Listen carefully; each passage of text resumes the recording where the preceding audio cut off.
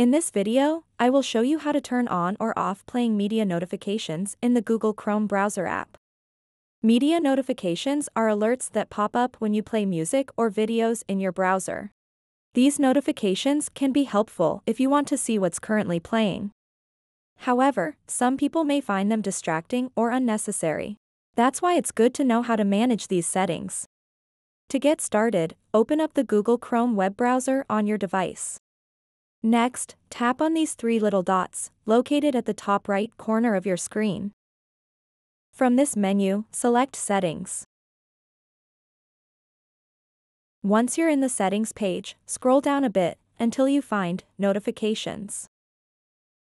Tap on Notifications to access notification preferences for different activities within Chrome.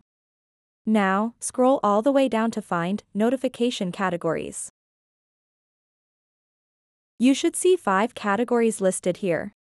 To turn off playing media notifications, simply toggle off the switch next to Playing Media. This will disable any notifications related to media playback across websites while using Chrome. If you'd like to turn playing media notifications back on, just toggle on the switch next to playing media, and you'll see those notifications again whenever media is played in your browser. So that wraps up this tutorial. If you have any questions about this whole process, please let me know in the comments section below. And if this video helped you out, please give it a big thumbs up and subscribe to this channel for more tutorial videos like this one.